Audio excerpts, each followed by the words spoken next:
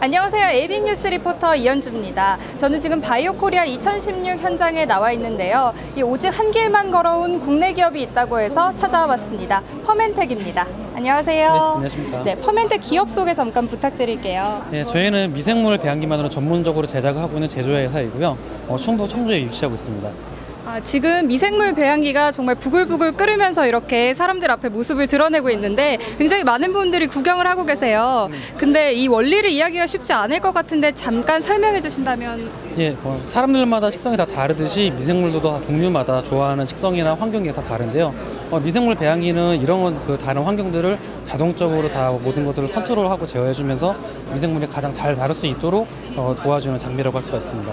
아, 정말 엄청난 기술력을 보유하지 않으면 개발할 수 없는 제품인 것 같은데요. 이 퍼멘텍의 올해 혹시 목표나 또 해외 진출 계획이 있으면 설명해 주시기 바랍니다.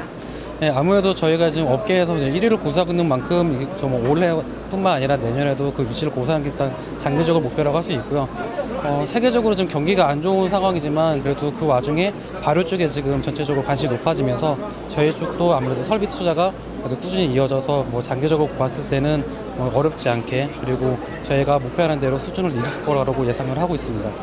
네, 국내에 이어 해외까지 정말 우리의 기술력을 널리 널리 알리는 퍼멘텍이 되길 바라겠습니다. 인터뷰 감사드립니다. 네, 감사합니다.